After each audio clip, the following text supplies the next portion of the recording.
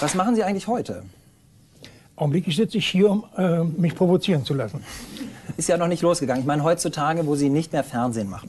Ich sitze zu Hause, ich lese sehr viel, sehr viel. Ich äh, tue es mir an, viel fernzusehen. Da muss man sich heute was antun zu. Und außer Ihrer Sendung natürlich. Und ähm, habe eine große äh, politische Tätigkeit. Was heißt große politische Tätigkeit? Sie sind der DKP beigetreten. Ich bin Mitglied der DKP. Ich bin äh, sehr lebhaft am Parteileben beschäftigt. Ich schreibe für Zeitungen, für kleine Parteizeitungen und äh, werde, obwohl Tagesspiegel und andere Medien mich der Vergessenheit anheimfallen lassen, immer wieder eingeladen, zum Beispiel von Ihnen. Mhm. Sind Sie ähm, manchmal gekränkt? Ich kann mir vorstellen, dass Ihnen manchmal fehlt, Fernsehen zu machen. Sie haben das so oft gemacht. Fehlt Ihnen der schwarze Kanal? Auch mir wäre es lieber, wenn es einigen Zuschauern heute fehlen würde, der schwarze Kanal. Das, das, das Fernsehen augenblicklich hat es nämlich bitter nötig, einen schwarzen Kanal. Haben Sie den Eindruck, Ihre Sendung fehlt den Zuschauern? Ich kenne sehr viele, denen er fehlt. Was heißt sehr viele? Eine Handvoll, täglich 100 Briefe, was sind sehr viele? Ach, wissen Sie, wenn ich zum Beispiel einen Brief kriege aus Magdeburg von einem Mann, den ich kenne, äh, ich habe Ihr Kanal nicht oft und nicht gern gesehen, aber was Sie über die Gebrechen und Verbrechen des Kapitalismus gesagt haben, war die reine Wahrheit. Jetzt erfahren wir es am eigenen Leibe. Das ist ein Kompliment. Und würden Sie sagen, das ist eher eine Ausnahme? Das ist ganz gewiss noch nicht die Mehrheit. Ja, den Eindruck teile ich auch. Wir stellen Ihnen jetzt. Sie hören nicht dazu, nehme ich an. Äh, nein, durchaus nicht. Äh, obwohl äh, wir können ja viel gelassener darüber reden, gewissermaßen nach Ende der Schlacht, die er verloren hat. Und zwar äh, deshalb gelassener, weil seine Positionen doch äh, historisch nicht haltbar gewesen sind. Ich denke, äh, die Auffassungen, die im Schwarzen Kanal vertreten worden sind, dass also der Kapitalismus gewissermaßen die DDR überfallen sollte, wollte, militärisch, deswegen habe er eine Mauer gebaut, was ja die Lüge an sich schon gewesen ist, denn jeder in der DDR wusste, die Mauer ist nicht gebaut worden, um Panzerarmeen des Westens der Bundesrepublik abzuhalten, sondern um die Leute daran zu hindern, abzuhauen. Und diesem Widerspruch hat die Sendung gelebt, in diesem Widerspruch hat er von Schnitzeler gelebt äh, bis heute. Und ich denke, das ist die historische Wahrheit. Diese Idee hat sich überlebt. Und insofern kann man, wie gesagt, äh, gelassen darüber äh, reden. Und wenn es noch einzelne Anhänger gibt, dann kann man nur sagen, es gibt immer Verrückte und äh, auf jeder Seite gibt es so eine und solche. Aber äh, sie sind wirklich sehr, sehr vereinsamt geworden. Herr Vorsitzender, Sie haben die Schlacht verloren, sagt Herr Luhmann. Ich habe eine Schlacht verloren. Das heißt, Sie kämpfen noch. Der Kampf geht weiter. Wer ist Ihr Feind im Moment? Der Feind ist unverändert der Imperialismus und seine kapitalistischen Vertreter. Wenn man das ja, auch, auch, die Art und Weise, wie Sie es vortragen, Herr von Schützer, klingt so, so ein bisschen wie wie er ist kein Wendehals, kommt gerade aus dem Publikum, das kann man beileibe nicht sagen. Es klingt so ein bisschen so wie auswendig gelernt und ich glaube Ihnen auch, dass Sie glauben, was Sie sagen. Es gibt ja Leute, die sagen, Sie spielen eine Rolle. Ich glaube, dass das Sie glauben, was Sie sagen. Das freut mich sehr, dass Sie glauben, dass ich glaube, dass ich überzeugt bin von dem, was Sie sagen. Das ist tatsächlich so. Ich habe in meinem Leben Erfahrung gemacht, mehr als wahrscheinlich die meisten hier in diesem Raum.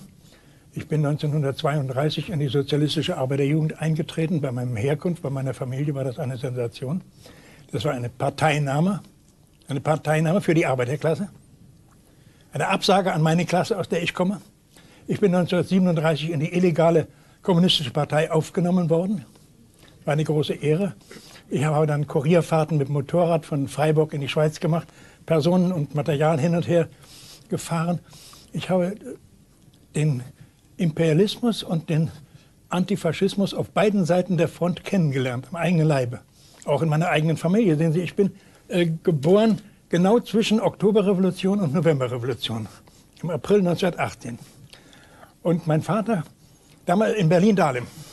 Und in Dahlem gab es eine Bürgerwehr 1918, 19. Die hat sich gebildet. Mein Vater brüstete sich dann später am Mittagstisch, als ich schon älter war, damit. Da haben die Bürger von Dahlem, die etwa so reagiert haben wie heute einige hier, äh, haben äh, ihre Hirschfänger und ihre Yachtgewehre äh, aus dem Schrank geholt und haben Yacht auf Karl Liebknecht gemacht.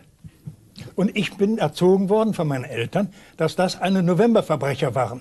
Und bei der SAJ, bei der Sozialistischen Arbeiterjugend, lernte ich es dann anders. Und seitdem bin ich regelmäßig bei der Demonstration, die nach Friedrichsfelde geht. Ich war 1932, 1933, noch im Hitlerjahr, vor der Machtübernahme, bei der letzten Demonstration vor Hitler, war ich dort, habe Teddy Thielmann sprechen hören. Und das, die, die Demonstration, die ich, zu der ich trotz meiner 81 Jahre äh, hingehe. Herr von Schützer, den ja. ersten Teil dieser Biografie verstehe ich aus Ihren Überzeugungen. Aber dann, das ist was, was mich persönlich immer so rasch, überrascht. Jemand, der Diktatur kennengelernt hat, der dann anfängt, die absurdesten, menschenfeindlichsten Dinge in meinen Augen zu rechtfertigen. Da haben viele gesagt, Sie sind irgendwann verblendet gewesen. Wie beurteilen Sie das?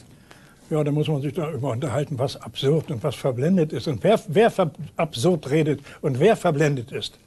Es ist ja immerhin fast gelungen, fast unser ganzes Volk zu verblenden und für die Hitler-Generation zu manipulieren. Das ist doch gelungen.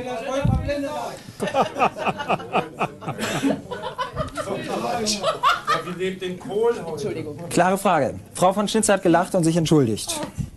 Na, entschuldigt, weil das so blöd ist, dass das schon quiekt. Sie dürfen nachher gerne was sagen. Danke. Den Vorwurf gibt es häufig. Bitte?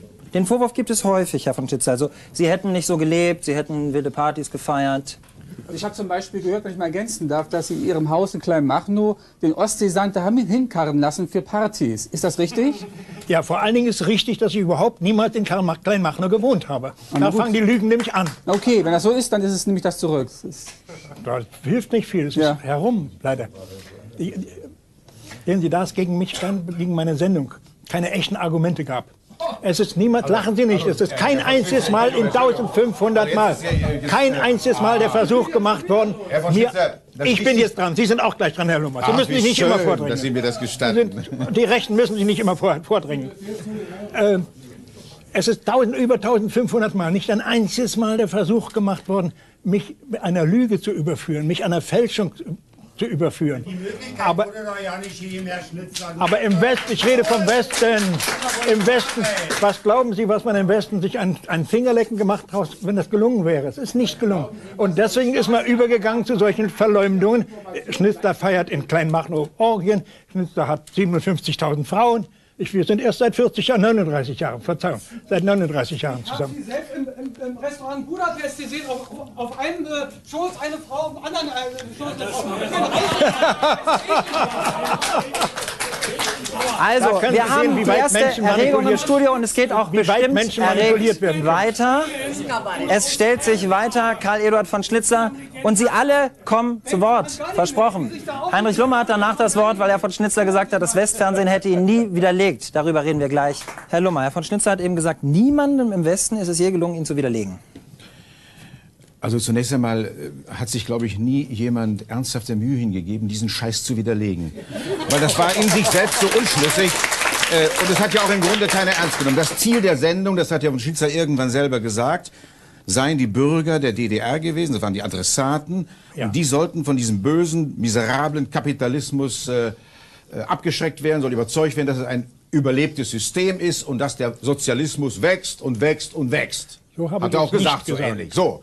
Und das Ergebnis ist gewesen, dass die Leute das nicht ernst genommen haben. Ganz im Gegenteil, er hat erreicht, dass die Leute mit anderen Augen auf den Kapitalismus im Westen geschaut haben. Sie haben die Westsender gesehen und haben gesagt, der schwarze Kanal ist falsch. Und das ist äh, die wirkliche Widerlegung durch die Geschichte, die stattgefunden hat. Und wenn er nur sagt, er hat nur eine Schlacht verloren. Gut, den Glauben mag er haben, den haben viele, ja. Ich äh, äh, sage Ihnen Folgendes dazu. Der Sozialismus, immer wenn er versucht hat, einen Versuch gemacht hat, geschichtsträchtig zu werden, ist gescheitert. Sie kommen also an den Punkt, wo Sie sagen, ich kenne ein paar andere, die genauso sagen wie Sie, auf zum besseren Scheitern. Auch der nächste Versuch wird scheitern. Weil diese Philosophie, die Sie immer noch haben, Sagen Sie mir doch, wo ist denn die Klasse heute, von der Sie reden? Welcher gehören Sie denn an? Welcher gehören die Leute an? Ist doch alles der Schnee von vorgestern. Quatsch zählt überhaupt gar nicht mehr.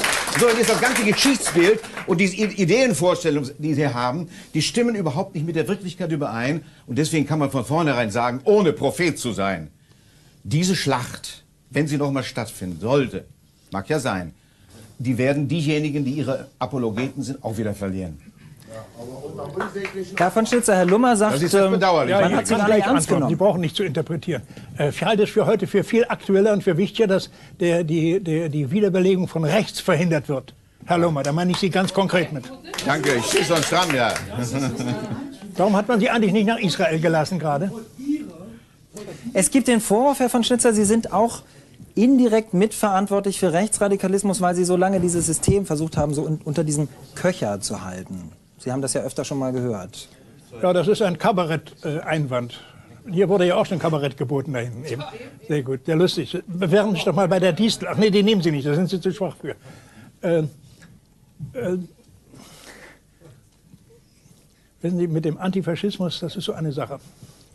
Ich bin Antifaschist geworden durch Begegnung mit dem Faschismus. Ich habe Nationalsozialisten in Anführungsstrichen erlebt. Und zwar Führende und Mitläufer. Und Schläger, Schlägerbanden habe ich erlebt. Und als Studentenführer, ich habe Herrn Filbinger erlebt in, in, in Freiburg.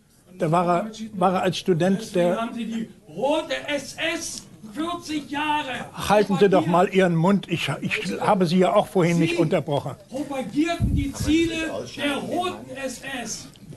Was, was eine interessante Frage ist, Fragen Sie ihn noch mal, was die rote SS ist. ich werde werd versuchen, Sie Ihre? Frage so weiterzugeben. Was eine interessante Frage ist, Herr von Schnitzler, ist, Sie kommen sofort ran, Sie kriegen auch ein Mikro, aber lassen Sie uns bitte über diese Frage und Rote SS mal reden. Herr von Schnitzler, eine interessante Frage ist, denke ich, warum haben Sie dann ein System gestützt, bei dem auch Menschen in Gefängnissen saßen? Das ist doch ein Widerspruch. In jedem Staat sitzen Gefängnisse. Hauptsache sitzen die richtigen Leute in den richtigen Gefängnissen. Und Sie sind der Meinung, das war der Fall? Jawohl. Aber wie sitzen wir im Gefängnis zur Ostzeit und wie sitzen jetzt? Herr Dr. Entschuldigen. Sie, ich habe gesessen. Ich habe bei Nazis gesessen. Ich war im Strafbataillon, weil ich Antifaschist war. Wir sind jetzt... Halten Sie sich fest. Jetzt halten Sie sich fest, was ich jetzt sage. Jawohl, ich habe eine Niederlage erlitten, eine ganz persönliche. Ich bin mit der richtigen Sendung der Schwarze Kanal habe ich eine schwere Niederlage erlitten. Aufgrund einer Überlegenheit der westlichen Systeme. Sie hatten ja Dutzende von Sendern, wir hatten zwei, zwei Sender, Sie hatten Dutzende von Sendern.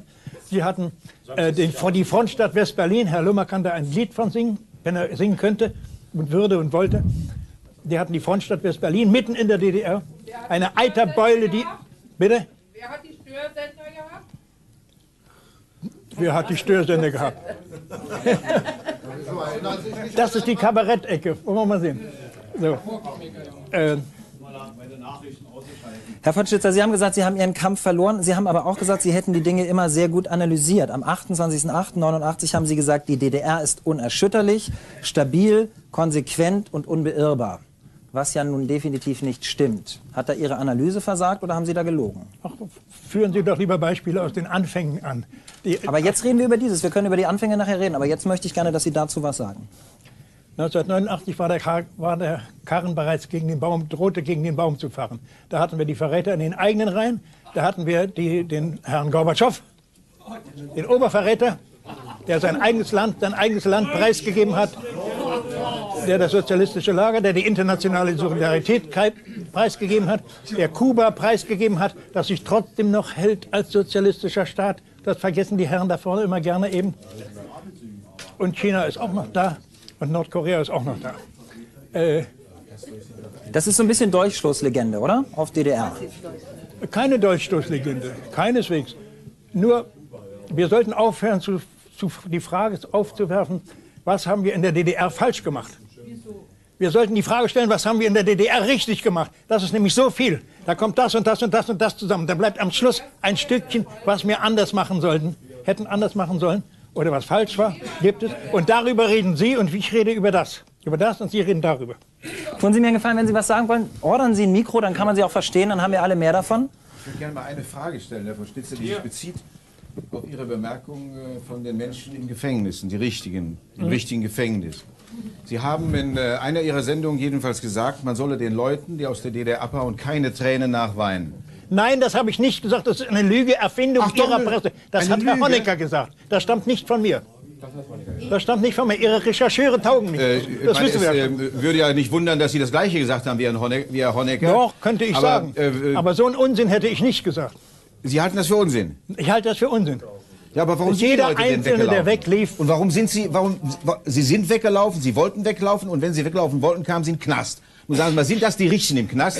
Wenn einer, der von einem äh, Teil seines Landes in den anderen gehen will oder auch überhaupt irgendwo in die Welt hingehen will, warum muss der Mensch in den Knast kommen? Da können Sie nicht sagen, das sind die Richtigen, im Knast sind. Der Oder? Ist, es ist keiner weg, keiner in ein Gefängnis gewandert, der nicht etwas getan hat, der nicht gegen Ja, ein Republik Gesetz verstoßen hat. Versuch der Republik Ein. Gesetz verstoßen hat. Jetzt Schluss, du, jetzt Schluss. Bist du bescheuert bist du? Ja.